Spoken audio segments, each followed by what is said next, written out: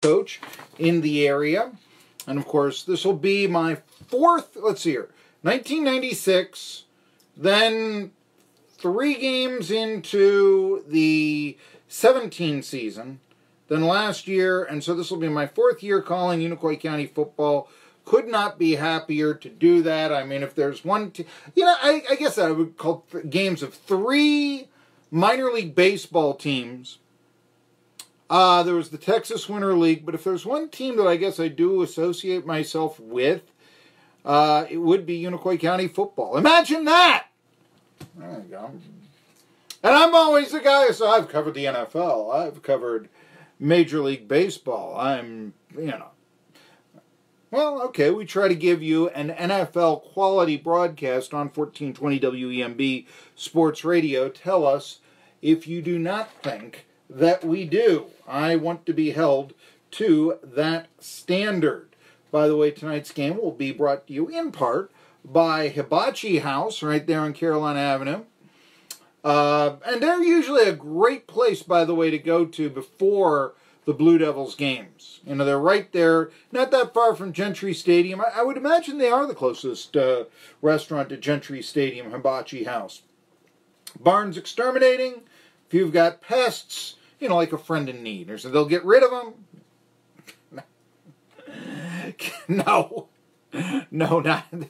We're thinking more along the lines of bugs, or as Muhammad Ali once said, bugs. Kentucky Fried Chicken, by the way. Uh, the next game that Unicoi County will play against Hampton, we will be. Uh, last year we did this. Uh, looks like this year uh, we may be giving some home game giveaways from the Erwin KFC. And remember that liver dinner, chicken liver dinner. I mean, that's just a southern delicacy. Nobody does it better than uh, KFC on a Wednesday when they only charge, well, it's 426 with the two sides and a drink. That's after taxes. Okay, they, they advertise it for less than four dollars. Four twenty six after the taxes. Okay, because I don't want you coming in there with four dollars. Oh, you need twenty six cents more, and then argue. No, bring in you know Bring in an abolitionist and you'll be fine. They'll give you some change for that too. Computer guy in Erwin, or he's right there, he fixes all my computers, Vince does. And also, like I said, with the town's best collection of 8 by 10 glossies of extremely beautiful female celebrities.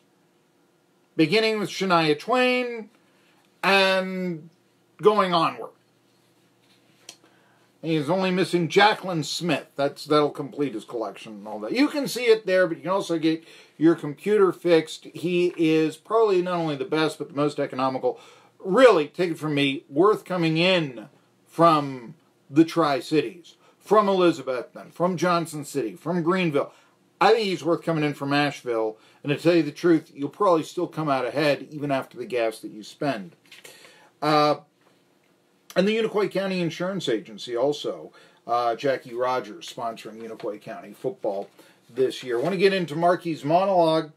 And, you know, I was thinking, you know, you could do, hmm, what should I do? Should I do the sappy, oh, isn't it wonderful, it's high school football season, uh, beginning commentary? That's usually what, you know, you call, that's usually what you call for in a day like today, right? You know? I mean, light, pleasant, you know, we're still, I mean, college football season, I guess, begins uh, tomorrow with Miami and Florida. Chance to see how the Gators will do after, you know, so many of their players were put in jail.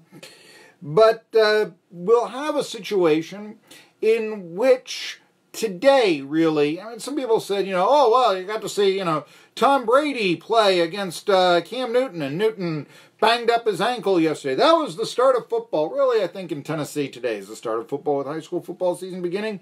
And it even kicks off with what I think now is the best rivalry in the area, and that's Science Hill and Elizabethton. How so? You thought about maybe, you know, I mean, hey, you could even do a comedy. Is Science Hill and Elizabethton better now than Science Hill and Dobyns Bennett? Is that the rivalry? You know, that sort of thing you could do. And I do not think that that's appropriate, though, today, because there's a story that came out out of Houston via Detroit that has gotten under my beak, under my skin. And it's this. Look, I don't proclaim that I can play quarterback for the Unicoi County Blue Devils. My eligibility's up. Or for that matter, I don't claim that I can pitch for the Houston Astros. So why do the Houston Astros pitchers, namely Justin Verlander, it shouldn't be plural, just one, think that they can make media editorial decisions or staffing decisions? See, on Wednesday, Houston Astros pitcher Justin Verlander dropped a 2-1 decision to his old team, the Detroit Tigers, who got three shutout innings from Johnson City's Daniel Norris on Wednesday.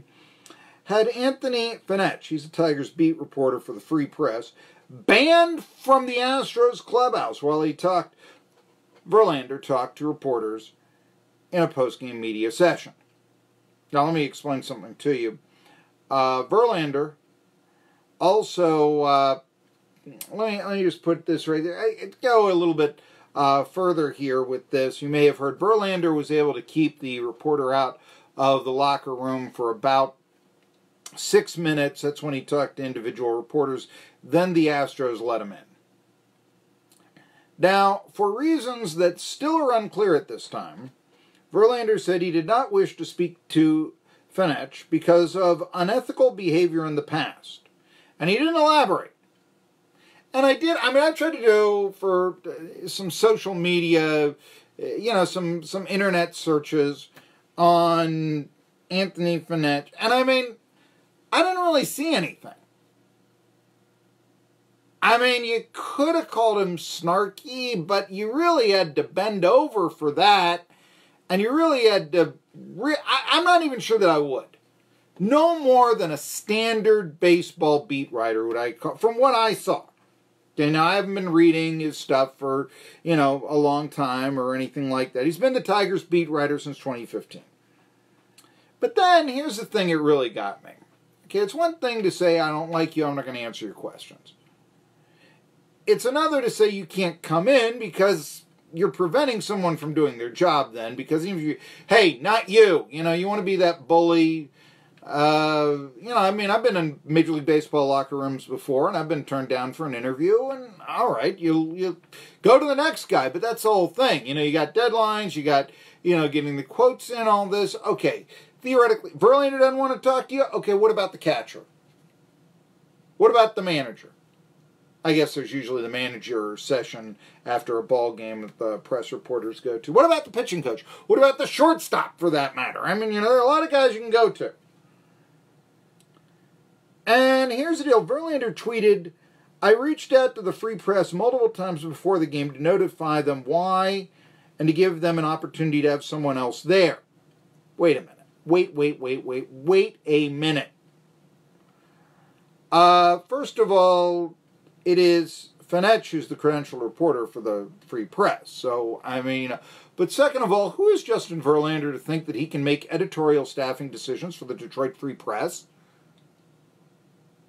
Now, let me repeat that. Who is Justin Verlander to say, I can make editorial staffing decisions for the Detroit Free Press?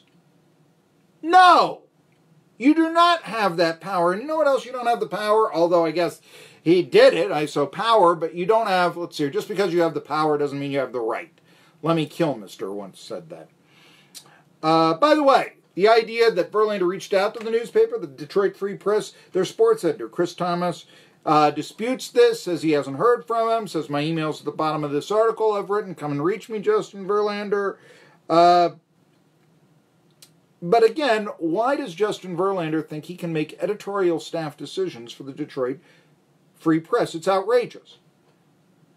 And by the way, Fenech, maybe you think, oh, that guy must be a punk sports writer, right? Well, let me tell you this. Two years ago, he was named one of the top 10 beat writers in the country by the Associated Press sports editors. Now, the demand of Verlander is against Major League Baseball rules. Major League Baseball even released a statement that said, per our club media regulations, the reporter should have been allowed to enter the clubhouse postgame at the same time as the other members of the media. We have communicated this to the Astros. The Baseball Writers Association of America president, Rob Biertempfel, added on Thursday. This action by the Astros violated the Major League Baseball club media relation, regulations, excuse me, the club media regulations, which are laid out in the collective bargaining agreement, and the BBW excuse me, the BBWAA expects Major League Baseball to respond accordingly and promptly. You know, Verlander might be baseball's biggest star right now, and maybe that's not saying that much because, you know, they say baseball lacks stars, but he might be the best uh, pitcher in baseball. He's playing on a team that could win a World Series. He gets great tubs of moolah every time he takes the mound, and he may be married to the most beautiful woman on earth. Verlander, therefore, what could Fenech possibly have done to get under that man's skin? Hey, here's Kate Upton. Get out of here. And who cares what, uh, you know, I, that's the big thing. For Verlander to take exception of unknown actions from Fenech, as well respected in his field by the APSE as Verlander is respected in his field, speaks of extreme pettiness. Now, hopefully, Verlander is fined. That's probably what he should get for this train.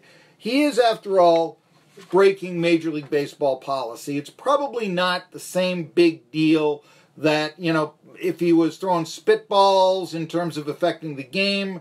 But what it does is it makes the modern day baseball player look spoiled and whiny. It's a commonplace image that baseball cannot afford. And it's also something that seems to be embraced in the sports world more and more and more. I mean, it could be Mike Gundy, you know, that ridiculous, I'm a I'm 40 thing that he did. You know, that column that he was so upset about, didn't even answer everybody's questions, got applause from it from the shills in a locker room.